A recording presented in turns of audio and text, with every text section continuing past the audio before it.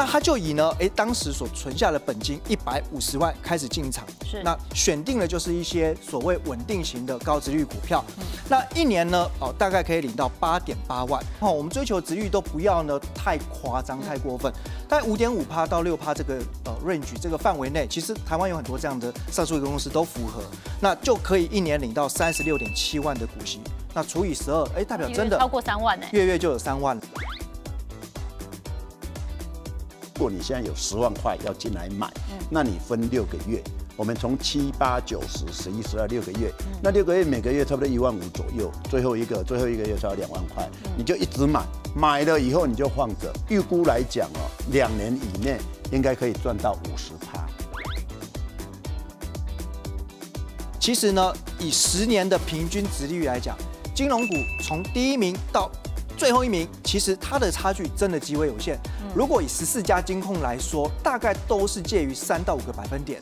如果你抓值率四趴，十年下来让你通通领到息，也不过四十趴。对。可是呢，中间如果配合指标做三趟价差，那其实你会发现加起来七十五趴，远远胜过。已经快要逼近两百趴了。是，欢迎来到小宇宙大爆发，生活烦恼一直发。大家好，我是莹婷。最近呢，有一个励志的真实事件出现在很多年轻人喜欢看的论坛 d c a r 上面。什么样一个状况呢？就是一个年轻人说：“我本金跟他咋办扣娘娘，十万块钱能做什么事呢？”照他很细心贴心的长期做了规划之后，他发现他有机会在未来创造每个月多了一万五的被动收入。这一万五说来真的是天降甘霖，因为你要等老板给你加薪，加了。一万五，你要做到多少多的事情？但是他做到，而且很多人呢，网友就说，那我也想做做看。所以立刻我们的企划小组也马上的做功课，到底有没有可能本金只有十万块哦？我不是一百万一桶金，我也不是很多钱，我也可以创造一个月多一万五、两万、三万、五万吗？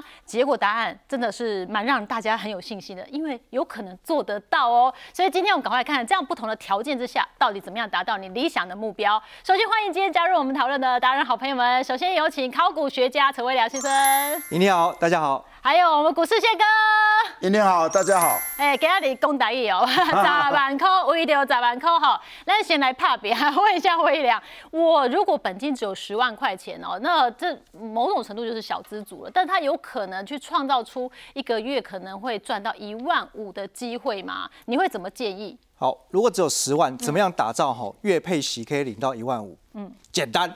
嗯，如果你老爸跟宪哥一样有钱，赶快跟他借三百五十万，怎么啦？凑齐了三百六十万之后呢？哎，五趴殖率，一年十八万，一个月啊就有一万五。好，不开玩笑，不开玩笑。但是这是数学游戏哎，没有很难哦，很容易理解哦。其实玩笑中是要告诉大家哈，其实我们做任何投资、存股都是一样，好，一定要呢。目标导向数字管理，所以我刚才其实，在玩笑中先带出的是数字，嗯，而我们要怎么样能够哎月领息一万五，其实就是你大概如果以直利率五趴，这算合理要求嘛？对对对，哦，不会特别高，特别过分，那你就是需要呢三百六十万的本金往这个目标。那我觉得哈，其实很多年轻朋友刚出社会，说实在的，我们还是要老生常谈一句话，哦，第一个呢，收入减掉储蓄才是支出，所以你每个月哈，不管多辛苦。真的让自己至少有个储蓄习惯，存多存少没有关系，可是起码要先有储蓄。那把自己的本金先养到一百五十万，因为我觉得哈，有一个很重要的迷思要提醒大家一下。我们常看很多电视上很多高手达人，对，那他们都是哎教大家怎么存股，所以现在大家也都跟着存股，追求四趴五趴。可是哦，那些达人我必须要讲啊。他们很有钱，所以他们的金积木很大只。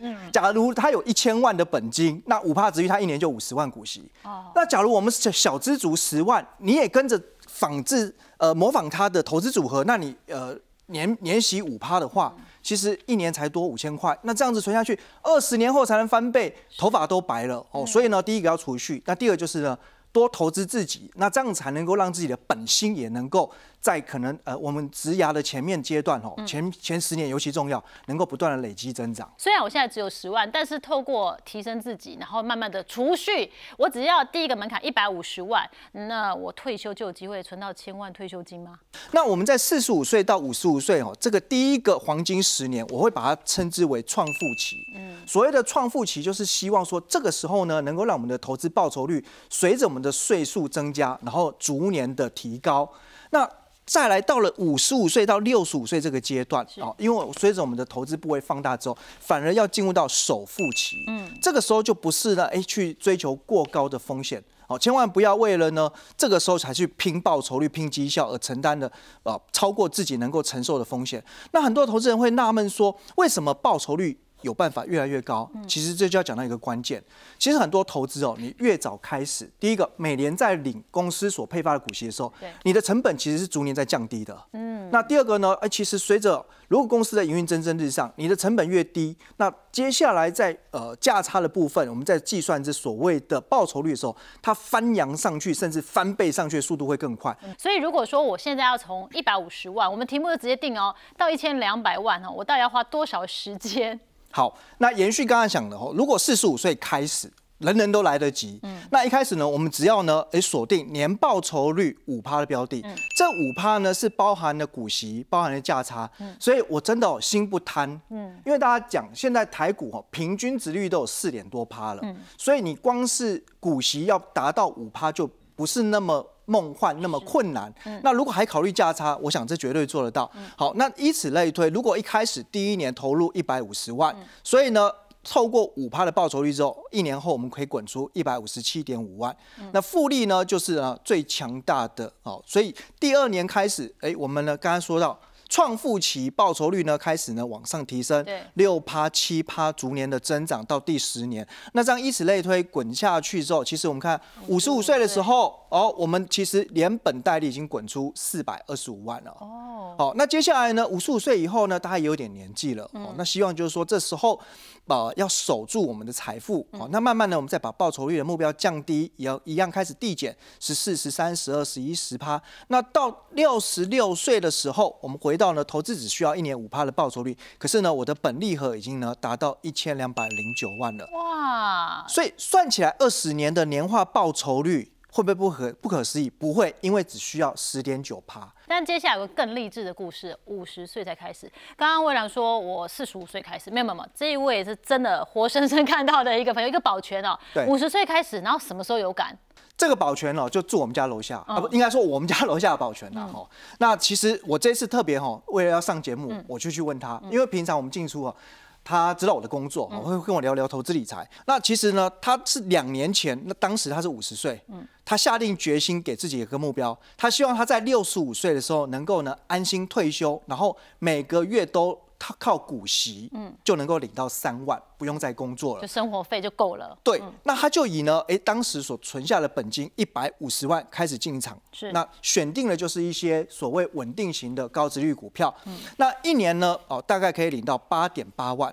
那很重要，我们刚才前面有提到，哦，其实你希望缩短你退休的时间，或者是增加你以后能够月领的股息金额，那不要忘记储蓄，绝对可以让你呢。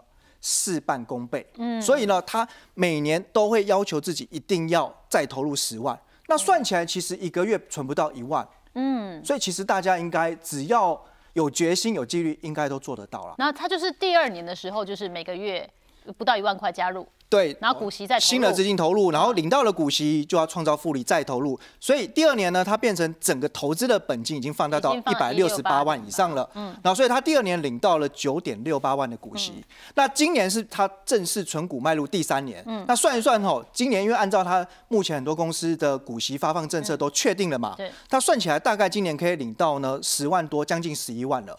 哎呦，一个月就快多一万，对他来说其实就很有感觉了哦。那所以我帮他稍微哦鸡婆的试算了一下，照这样子的纪律持续下去，那么到他六十五岁那一年，他到底有没有机会圆梦去退休，然后呢做领每个月三万的股息？那算起来哈，的确哦，在六十五岁那一年，因为他的本加上利不断的呢复利滚进去，就像滚雪球一样越滚越大，就可以达到呢五百。七十八点九八万，那按照呢一样哈，我们追求值率都不要呢太夸张、太过分，在五点五趴到六趴这个呃 range 这个范围内，其实台湾有很多这样的上述一个公司都符合，那就可以一年领到三十六点七万的股息。那除以十二，哎，代表真的超过三万呢，月月就有三万了。其实这个目标真的是可以实现。这位保全先生也很算是很激励我们，因为五十岁才开始做，宪哥厉害，儿子是从小就开始做，这个一有钱，甚至宪哥还打电话说急不来哦，直接逼他就是把钱缴出来。因为我小孩子那时候在台南成功大学在读硕士，那，一个月有两万五，他教授对他不错，一个月两万五，那时候很高哦，比台大高很多，台大有的七八千而已哦。那我说啊，你在台南那边很便宜，那个租的我都已经帮他付了嘛，嗯。啊，吃的又很便宜啊，学校里面的都很便宜啊，对，那你至少每个月要给我存一万。嗯。那有一天我就到医院去检查，结果发现我胆固醇过高，嗯，啊，我隔壁我我隔壁一个八十二岁老奶奶讲，老师你打刚弄烧饼油条面讲嘛，胆固醇过高，哎，你早餐哦改吃燕麦。燕麦片，嗯，胆固醇就降下来。是，我今天还给，结果吃了三个礼拜以后，真的去检查降下来了。啊，哪一家做的？价格？那价格那时候是差不多三十块到三十七块左右股价。那他每年呢可以赚差不多一块七毛多到两块多。啊，就说安尼做简单呢，我囝大个月拢加一万，嗯，那他一万我就再给他加一万，哦，要鼓励他嘛，嗯，就就一直买，一直买，一直买。那买了以后，突然哎。有一天说什么价格要登陆啦，要到中国大陆去啦，哇，不得了了，biang biang biang，七八十块啊，七八十块，咱就豆豆啊卖，啊卖到百几块，伊在上悬到一百四十几块诶，哇，卖卖的迄栋钱哈，多他拿到那个千里马奖学金，要到美国去一年，要去约翰霍普金斯大学交换学生，我就给他一百四十万，然后他就那一年就。OK 的。如果现在正在做投资的话，魏良带我们来了解一下哪个类型会比较适合。所谓的零股息的金牛股，哈，刚才讲的就是要找高市占率但低成长率的成熟型产业里面的龙头公司，比如说电信。是哦，国内呢，电信也经过了一些呢啊太弱留强的时代之后，现在大概就是三雄割据。嗯，那食品业你可能很容易就想到，比如说统一食品。嗯，保全业呢，国内大概也就是双强。哦，所以其实他们都是属于在这个产业当中有稳定的地位，所以呢，我们在选这些零股息的金牛股的时候，大家就可以留意它的连续配息年数越长越好。嗯，台湾上市公司里面哈有很多那个可以连续二十年以上配息，那表示它已经经历过好几次景气循环，但是都不会因此中断它的配息。然后呢，观察公司的现金流量是不是充沛。那至于说要。哦，充本金哦，让我们能够有丰厚的价差收益的话，那明星股呢就要看到底呢，哎，现在的主流趋势在哪里？嗯，那挑主流趋势，其实哦，大概每三到五年会有些改变哦。那我给大家一个简单易记的口诀：明星产业就是以前没有，现在有，未来会更多。那你依此逻辑去推演下去，AI。以前没有，现在刚开始有，对，未来一定更多，只会更多。好，这个皮衣男黄董已经告诉大家了嘛，爆炸性的十年要开始哦。那类似的像军工、治安、绿能等等，那我们要观察的指标就是获利成长率要高。那基本上我会定义是在一年的 EPS 成长幅度至少要超过两成，是。然后它的毛利率呢，最好是超过三成。嗯，好，所以。如果我们再搭配呢所谓的进出买卖策略啊，就可以更安心的存股哦。那这里面如果是成长型的公司呢，就观察本益比的评价模式。当本益比呢在历年高档的时候站在卖方，反之呢碰到股灾或本益比已经压回到历年的低档区间的时候站在买方。那所以呢，像台积电、台达电都是很好的成长型公司。那价值型的话呢，就看值利率，值利率呢小于四趴，代表股价已经变贵了，站在卖方。那五趴呢算是合理价，六趴以上呢就是便宜。价哎，这个时候就要利用了股价呢有折扣的时候，哎，赶快把握这个机会。那至于说循环型的哈，当然哦，就是景气由高峰盛极而衰的时候，你要站在卖方；那反之呢，触底回温的时候站在买方。像金融股、钢铁股、航运类都是属于景气循环股。那特别哈，我想我的看法跟市场上的主流声音比较不一样。在这边，对我把金融股是归类是在。呃，循环型哦，哦，不是成长，也不是价值。至于为什么，我们待会再进一步跟大家分享。对，因为很多的投资者真的会觉得说，金融股是相对的稳健哦，但观点不一样，大家可以参考一下。好，我现在绕来绕去，就觉得一心想要突破那个十到十五 percent 的殖利率。宪哥，现在操作什么可以让你很轻松，而且没什么压力，并且风险比较小的得到那十 percent？我们先来看一下，就是如果说你现在除了那十万本金进去以外，那你每个月你可以存一万块。那你说啊，我今嘛可能不要多，那我存个五千块也可以。你只要有那个心，你就存五千块。然后你年终奖金如果说领了五万六万，你就一笔再投下去，哎，剩剩的金尼玛是一万块啊。只要是每个月一万块，嗯，然后十趴的话，三十年变两千一百七十一万。那你说我只有五千？那就除以二嘛，三十年等于一千一一千零五十几万嘛，对不对？那假设你运气很好，因为你不可能每年都十趴吧？有时候像台股，哎，变变狗，哎，一年就可以两三千点嘛，对不对？你可能十五趴，甚至十十十二十趴都有。假设平均有十五趴，那不得了了。哦，十八跟十五趴变成六千万哦，那卖共六千万了，一半三千万，基本上最后最后贵给他了，嗯，对不对？所以其实是有。那其实十波十波线来讲哦，我们会觉得说有一点困难，对不对？那我为什么说债券型基金最近是可以买？因为第一个，它已经跌破三十年来的低点。跌的有够惨的，因为这一次美国的一个联准会，它是暴力升息，在短期间突然的升了十七码，升的太多了，所以债券当然就是在它的最大的风险就利率风险嘛，违约风险嘛，还有汇率风险，所以它这一次的利率压低压到有够低了，不然的话，你看国泰人寿怎么可能有这样的价格？富邦人寿怎么有可能有这样的价格？南山人寿还差一点挂掉，因为它的净值是负的，也因为这样子，所以债券的 ETF 也跌得很。很惨，那这个时候呢？你说什么时候它是一个开始？呃，利率已经开始要慢慢慢慢的开始降息。现在大家都知道，今年不可能降息，那明年有可能降息。所以现在我们的建议就是说，如果你现在有十万块要进来买，那你分六个月，我们从七八九十十一十二六个月，那六个月每个月差不多一万五左右，最后一个最后一个月才两万块，你就一直买，买了以后你就放着。那当然，他现在每个月他也有这种付息啦，哦，付息，但是目前来讲看起来都不是很高，等于是两趴三趴不多，但是等到开始升息的时候，那比如说有一些是买美国的国家债券的，那国家债券它一定不会倒嘛，那他买二十年起、三十年起的，它的期限越长，未来它的一个弹性越大，它的一个上涨的幅度越大，预估来讲哦，两年以内。应该可以赚到五十趴。我刚刚只要十五趴，宪哥你对我太好了，两年五十趴。那两年，也就是说你现在开始买，比如说你现在一个月可以买两万块，你就一直买买买买买到这个年底的时候。那如果年底的时候，那时候已经发现年总会开始要降息的时候，你的年终奖金就一笔给它压下去了啦，全部压下去，然后不动。两年以后，等到时候什么时候要卖呢？等到联准会的利率。到一趴的时候，你就全部把它卖掉。嗯，卖掉以后就不要再回来了。是，哎，因为它也是一种景气循环。是。那很多人说啊，对啦，但相较于股票来讲，我那么多档的股票要挑很难。那 ETF 也才两百多档，其实也很多。好了，威廉来帮我们一下喽。那我们现在可以自己来组一个相对依照你自己的特性来做调配的 ETF 组合。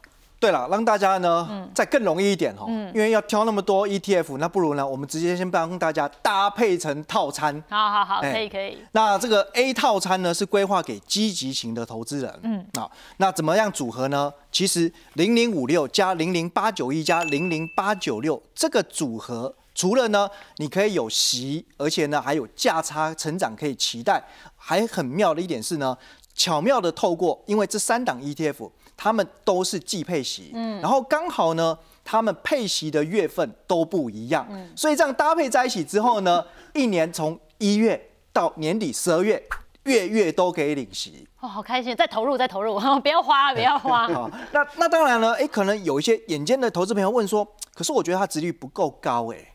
哦，好像只有三到五趴。对呀。可是我们刚刚讲哦，这是给积极型的投资人，也就是说，你现在小资族一定要呢认真思考，怎么样把十万变二十万，对，二十万变四十万，四十万变一百五十万。对，所以你要成长。那这里面呢，我们除了大家熟悉的哦零零五六高股息之外，我特别建议这两档哦，中性关键半导体、中性绿能及电动车。哦，这两档呢，一听有没有就觉得很厉害？就是明星主流产业嘛，对，现在很热的几个题材。对啊，像关键半导体吼，这个就是把整个台湾啊最有竞争力的半导体，从上游的 IP 系制裁、IC 设计、晶圆代工、封测、通包，一网打尽，嗯，所以所以你也不用再选了。哦，包含现在大家很流行讲 AI 的产业明星都在里面，是。好，所以这样子组合下来，我觉得哈年化报酬率要突破十趴，应该有非常非常高的几率，因为光后面这两档哦，年初到现在的涨幅都超过两成了。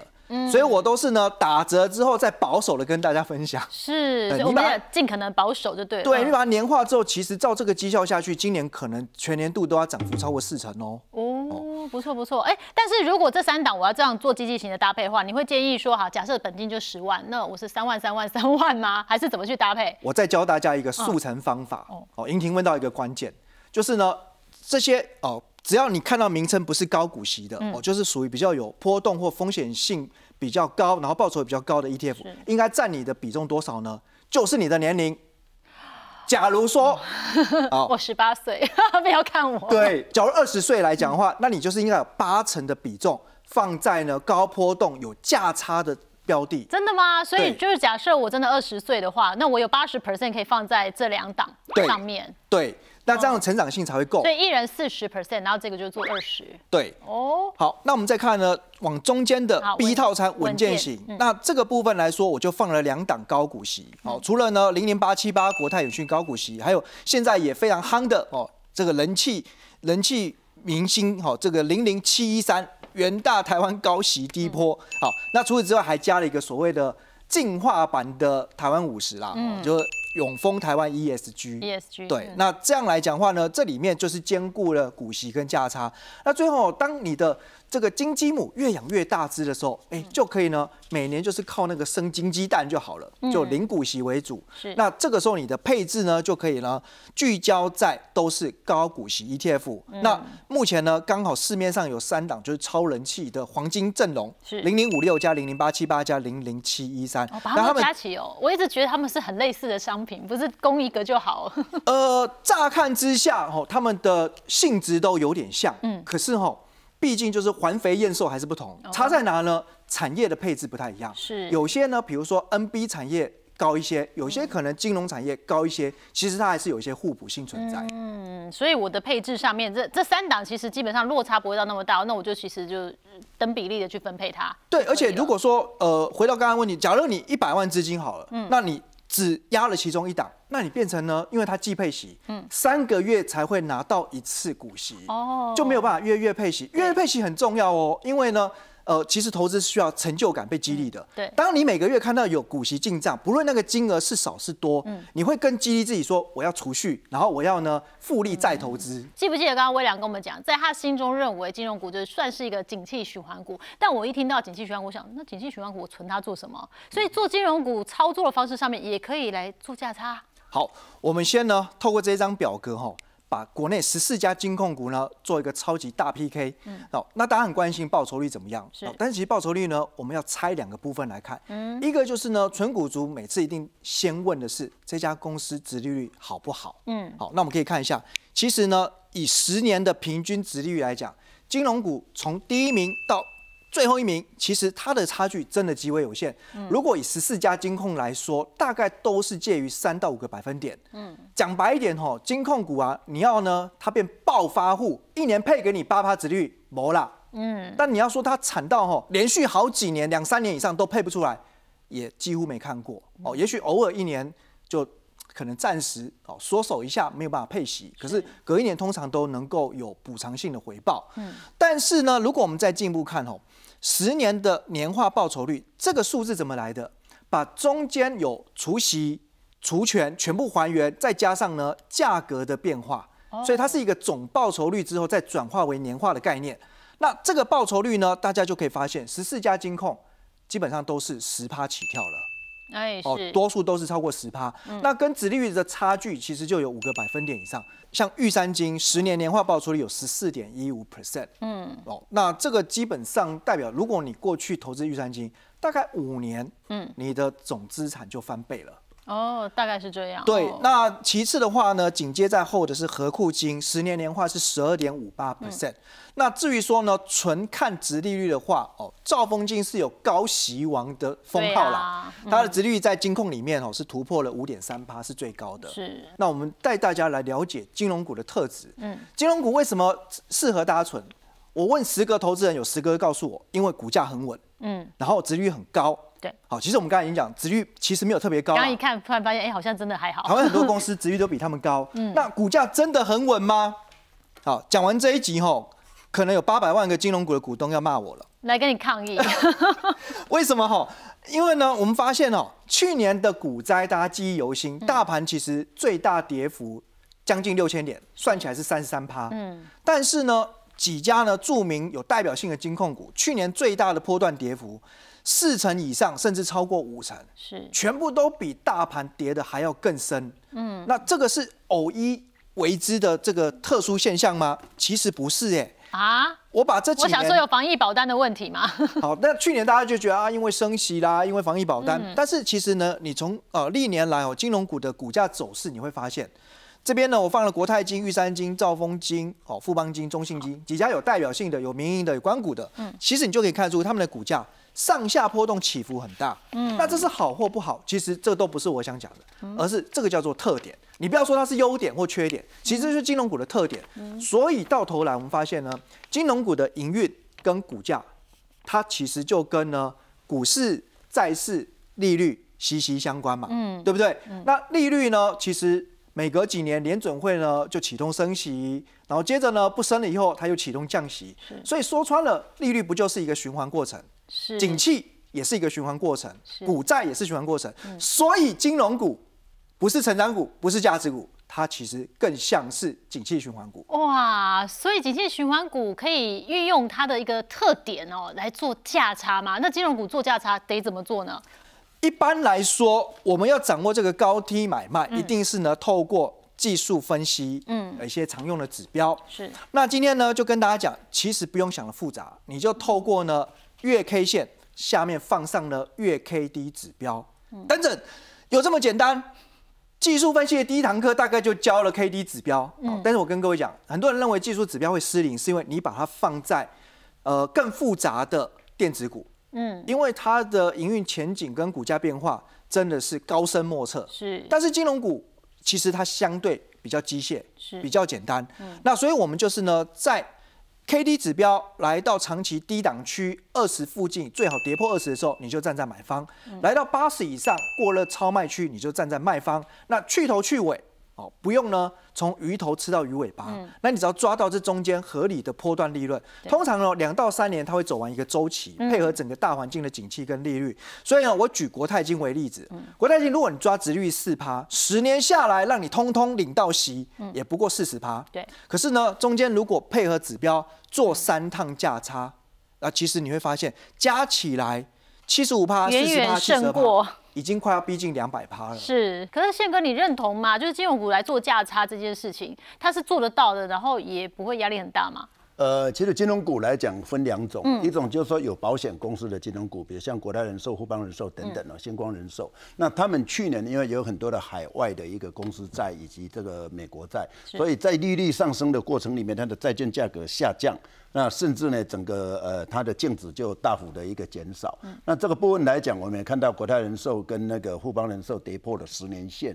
有人说这是十年来难得一次的好买点，这一点我是赞成的。因为我们既然要去买所谓的债券型的一个 ETF，那当然国泰。国泰金就可以买，为什么？因为它现在已经是在跌破十年线了。那未来只要利率开始由高点往下，它的债券价格就开始往上了。那过去它必须提列备供出售，折价损失会回冲，所以它的股价会反弹很快。所以如果说在年底的时候，在第四季，你就可以独压。国泰金以及像富邦金、像中信金这种，包括本身有保险公司的，那另外还有一些做个金、弃金的，那当然就是以前就是你瞧不上眼的台湾中小企啦、永丰金啊，哎，他们的市占越来越大，嗯，那他们的毛利率是有在扩大的。